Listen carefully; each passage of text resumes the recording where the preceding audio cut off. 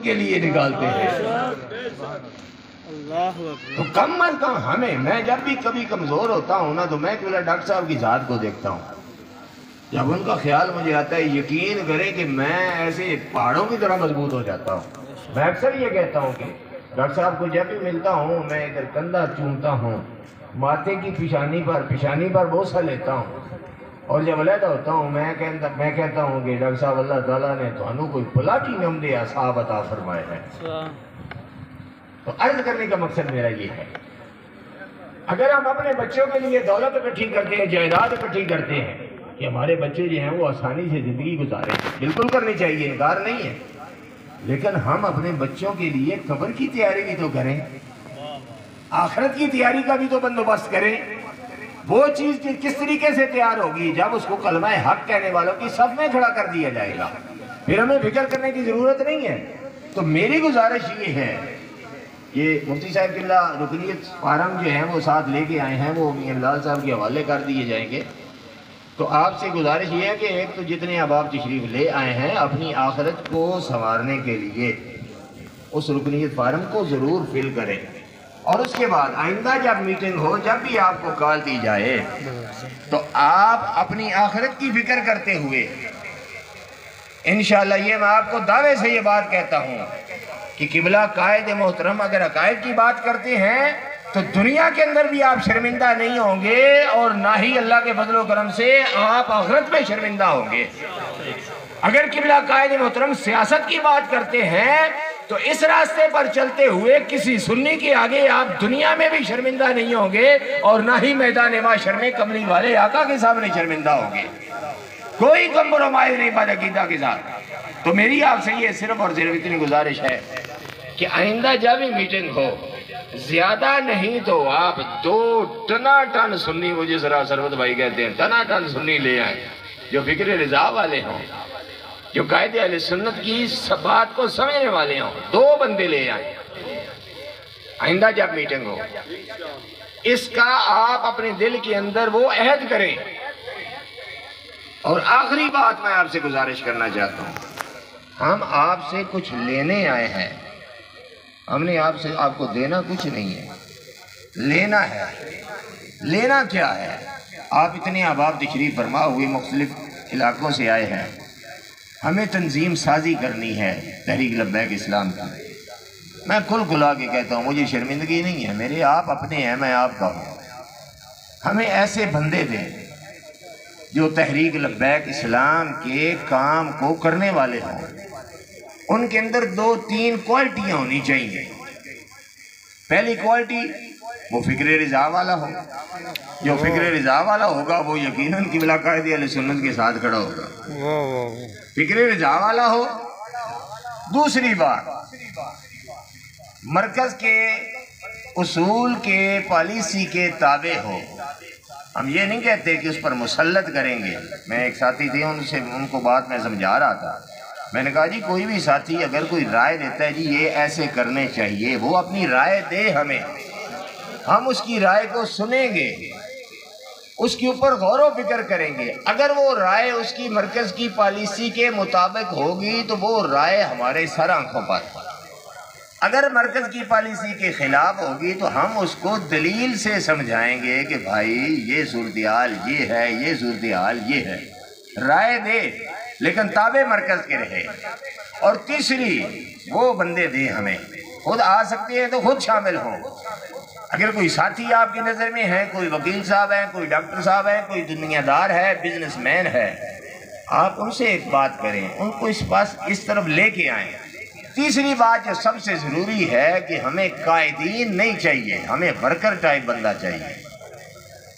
जो हजूर अली वसलाम की इस उम्मत खसूस अहल सुन्नत का खादिम हो। आप सब आप समझते हैं कि हमने पढ़ा था, छोटे होते थे तो सैदुल कौम खादिम हम, कौम का सरदार, कौम का खादिम होता है। जो आप मुझसे वाकिफ हैं, उनको पता है कि एक छोटे से छोटा बच्चा भी है, छोटे से छोटा वर्कर भी है, वो दिन को कॉल करे, रात को कॉल करे, मैं उसकी बात सुनता हूँ, उसको रिप्लाई देता हूँ। कोई आदमी ये नहीं कह सकता कि हाँ जी, ये चेयरमैन साहब हैं, अल्लाह माफ़ करे। अल्लाह ताला उस गुरूर और तकबर से मुझे महफूज फरमाए। मैंने इब्तदा में कहा कि मैं वर्कर हूँ और वर्कर बनकर रहूँगा, वर्कर बनकर ही मरूँगा। इससे बड़ा मेरे लिए एजाज नहीं है। हमें कायदीन नहीं चाहिए, वर्कर चाहिए, जिनके सीने में सुन्नत का दर्द हो, जो रास्ता दिखलाने वाले हों।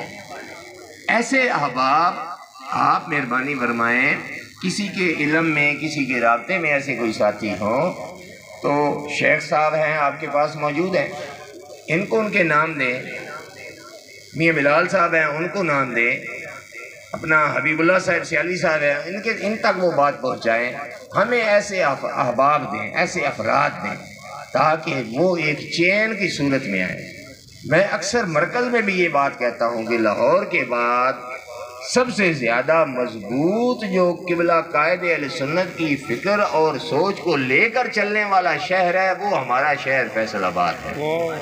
ये मेरी अपनी जजमेंट है।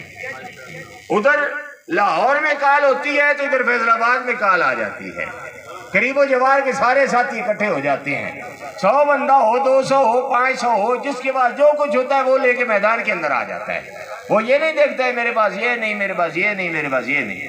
लिहाजा, मैं आपसे ये उम्मीद करता हूँ कि इन अल्लाह के फजलो करम से आप ज़रूर इस मामले में मुआमिनत फरमाएँगे।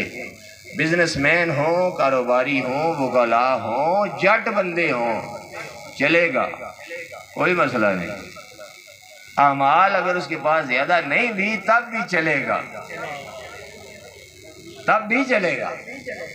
और सानू थोड़े जे डिंगिया मुछाले भी तो चाहिए हैं, ना जी। दिखलावे वाले। दिखलावा तो ऐसा हो, अंदर से तो वो जो सुन्नी होता है ना, वो अंदर से वो जितना अच्छा इंसान को नहीं होता है। वो नमूद नुमाइश का तलबगार नहीं होता है। तो मेरे ये गुजारिशात हैं आपके सामने टूटी फूटी असल में मियाँ साहब ने मुझे घबराया हुआ है कि बारिश आएगी मैं उन्होंने फकीरी नुस्खा मारे, मैं क्या मी ना लाण देंदा जो तक मैं गल ना कर लवा।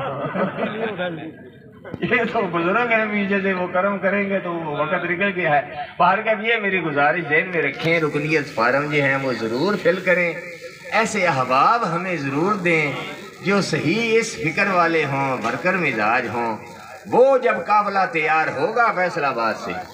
सिरात मुस्तकीम भी किबला कायदे, अहल सुन्नत कायदे, अजीमत डॉक्टर साहब की है।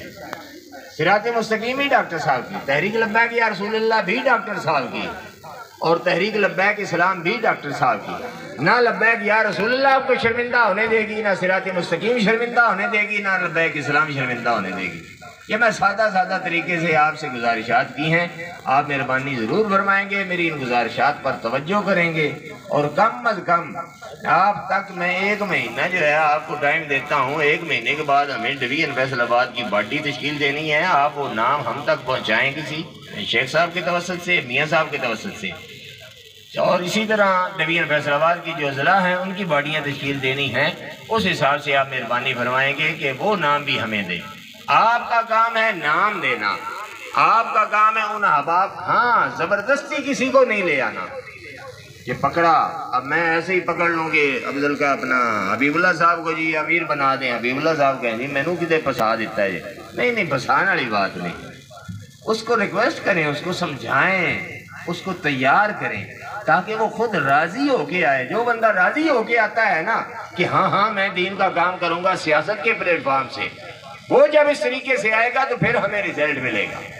ऐसे पकड़ कर नहीं ले आना, ज़बरदस्ती नहीं ऐसे बंदे चाहिए हो तो मैं कॉल करूँ तो यकीन करें चंद दिनों के अंदर पूरे पाकिस्तान की पार्टियाँ तश्कील दी जाए। लेकिन हमने एक मज़बूत बुनियाद रखनी है। हमने एक मज़बूत बुनियाद रखनी है। अपने आने वाली नस्लों के लिए एक बुनियाद रखनी है।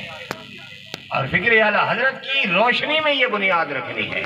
फ़िक्र मुजदानी की तालीमत की सूरत के अंदर ये बुनियाद रखनी है। ये मेरी गुजारिशात हैं। अल्लाह तबारक व ताली हम सब के ऊपर और हम सब के ख़ानदानों पर, अहल वयाल पर अपना ख़ास करम फरमाए।